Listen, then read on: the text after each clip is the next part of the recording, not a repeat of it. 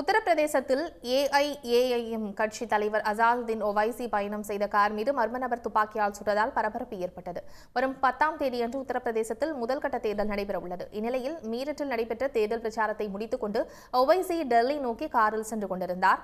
அப்போது சாஷர்ஜி சுங்கச்சாவடி அருகே கார் சென்று கொண்டிருந்த போது நான்கு பேர் திடீரென கார் மீது மூன்று முறை துப்பாக்கியால் சுட்டனர் தாக்குதலில் குண்டுகள் துளைத்து ஒவைசி கார் டயர்கள் பஞ்சர் ஆகின அதன் பின் அவர் பாதுகாப்பாக வேறு காரில் ஏறி சென்று விட்டார் சம்பவம் நேரிட்ட சுங்கச்சாவடியில் பெரும் பரபரப்பு ஏற்பட்டது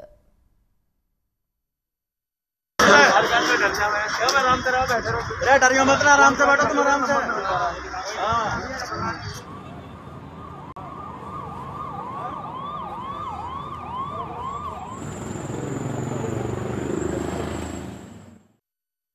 இதனிடையே டெல்லி சென்ற ஒவைசி தமது ட்விட்டரில் காரில் துப்பாக்கி குண்டுகள் துளைத்த படத்தை பதிவிட்டுள்ளார் பின்னர் செய்தியாளர்களை சந்தித்த அவர் இது திட்டமிட்டு நடத்தப்பட்ட தாக்குதல் என்று சாடினார் தம் மீது நடத்தப்பட்ட துப்பாக்கிச் சூடு தொடர்பாக மக்களை சபாநாயகரிடம் முறையிடப் போவதாக ஒவைசி தெரிவித்தார் தேர்தல் ஆணையமும் தனிப்பட்ட முறையில் விசாரணை நடத்தி நடவடிக்கை எடுக்க வேண்டும் என்று அவர் கேட்டுக்கொண்டார்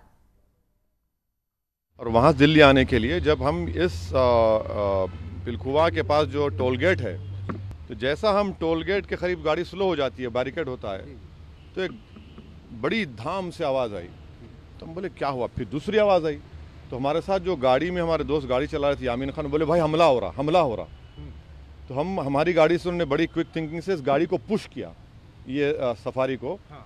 और वहाँ से निकले। फिर और एक आवाज़ आई जब निकल रहे तो एक और आवाज़ आई। तो मेरे ख्याल से तीन से चार राउंड की फायरिंग हुई। हमारी गाड़ी के लेफ़्ट साइड के ऊपर दो होल्स के निशान है एक गोली शायद, और एक निशान है लेफ़्ट साइड मडगार्ड के ऊपर।